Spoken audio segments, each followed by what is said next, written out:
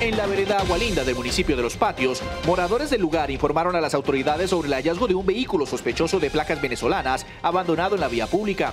La policía al momento de realizar la plena identificación y registro hallaron en el baúl del equipaje del automotor paquetes rectangulares envueltos en costales de plástico. Al verificar su contenido observan una sustancia vegetal similar a las características de la cocaína para un peso aproximado de 100 kilos pero según lo informado, la sustancia no dio positivo para cocaína. Estaríamos frente a una estafa, a una exacción de parte de los delincuentes, de los contraventores penales, eh, buscando engañar a otro grupo de delincuentes. Esto pues llama la atención porque podrá traer afectación a, a vidas humanas ya que podrían estar enfrentándose por esta estafa que se habría presentado.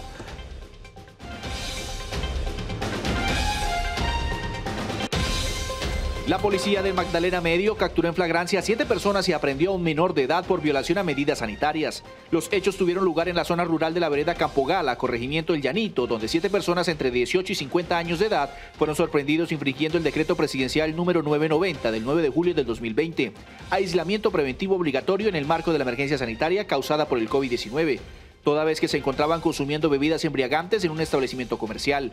En el procedimiento fueron incautados 14 botellas de aguardiente. Unas personas que laboraban al mismo establecimiento y otras personas particulares que se encontraban departiendo. Sin embargo, eh, el caso no es recepcionado por la Fiscalía General de la Nación.